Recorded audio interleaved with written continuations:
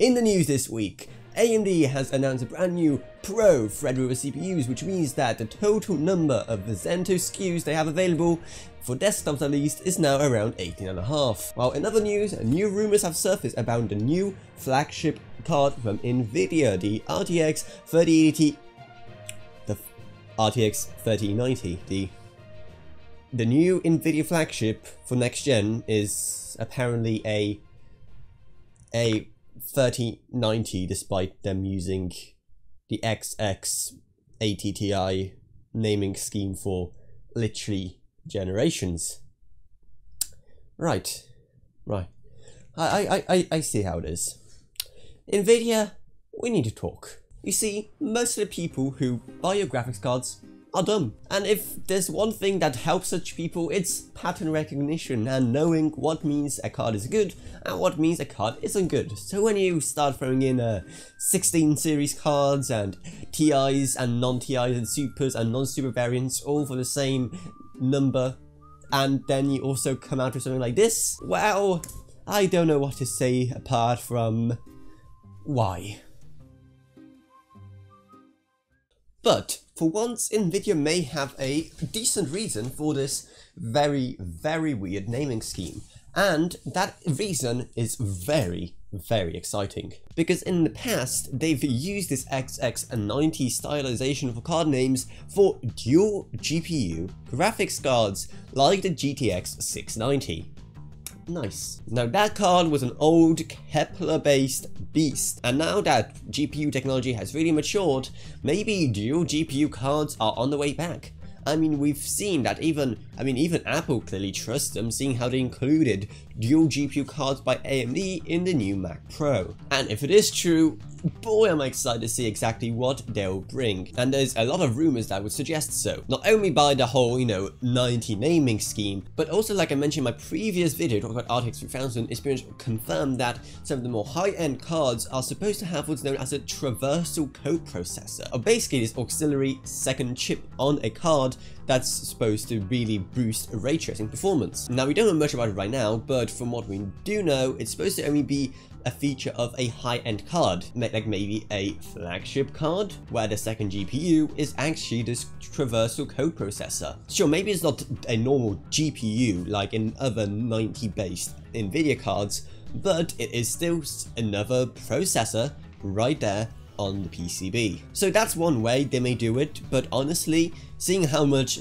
technology has gone forward, I am expecting them to be able to have both the coprocessor and also a normal second GPU on the RTX 3090. Additionally, it will just make sense. I feel like now more than ever the world is actually prepared for it, especially now that SLI is becoming more and more just useless, as you have to buy a second card and the SLI scaling isn't always great. And unless you're using NVLink, you don't even get the VRAM of the second card.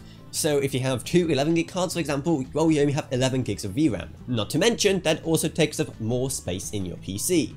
So having a dual GPU card is a great solution to that, as you'll be able to have two GPUs on a single 16x PCI slot Plus, of course, since it's gonna be a flagship, it'll probably have tons of VRAM as well. And that could really mean the end of SLI on the high end, especially since the truth is that even though SLI and even NVLink links are becoming really, really fast, they still have to hop between two graphics cards, so of course there'll be always some latency penalty compared to the two GPUs just being neighbors right there on the same PCB. So because of that, a dual GPU solution just makes more sense. And as I mentioned recently in my PCIe Gen 4 video, link in the icons by the way, the new 4.0 link that the new RTX 3000 cards will work on will help a lot.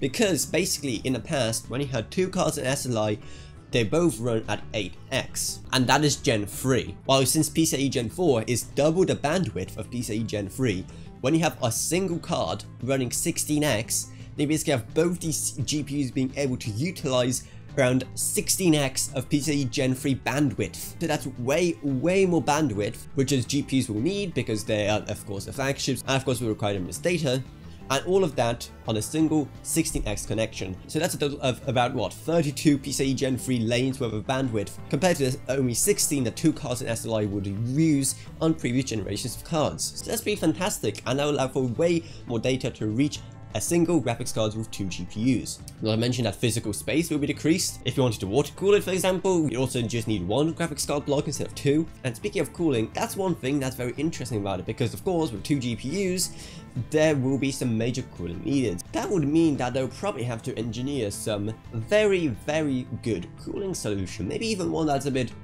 strange looking or foreign to us. Like, you know, maybe something we haven't seen before but would work for dual GPU setups, something that just seems weird for now but would make sense in the future.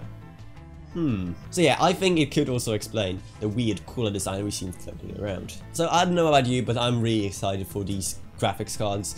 I probably won't be getting one because let's be honest, why would Nvidia send a graphics card to a such a small YouTuber? So hey, if you want to help my channel finally grow so many years, then maybe consider subscribing, liking this video, all that st good stuff helps, and also maybe check out my Patreon down in the description below, as in one dollar month also goes a long way.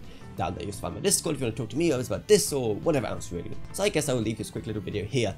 If you enjoyed it, remember to subscribe, like, whatever, and I'll see you all in whatever I make next. Goodbye everyone. Bye.